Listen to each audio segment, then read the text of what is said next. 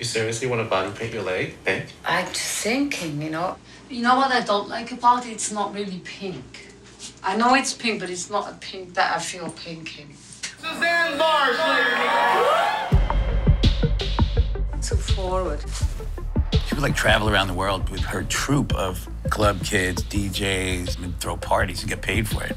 I'm drawn to people that make statements with their looks. You could be like that, but no swimming.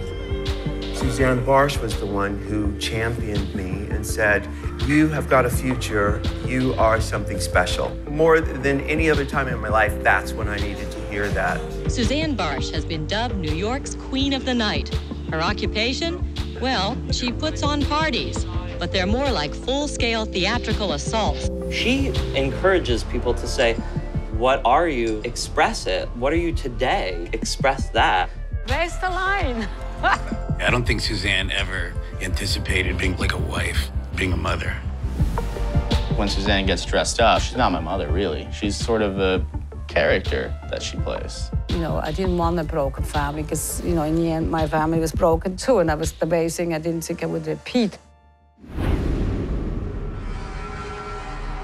The beginning of the AIDS epidemic as it kept mounting was a horrifying sci fi movie. What can I do? And I'm going, why don't I fight this thing and do something about it? Stars are coming out tonight for a big benefit to raise money to fight AIDS. But this is not your run-of-the-mill charity event. I mean, we raised millions. When Susanne Bartsch took the stage, it, it really was an electric feeling in the room. Susanne, she played a lot of roles of me accepting myself. I needed that. I needed it.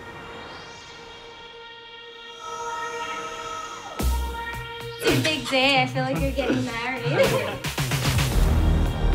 Living life is hard. You know, we have to go through all sorts of ups and downs in life, and to get through it in a positive way isn't always easy. If it's not a statement, what's the point?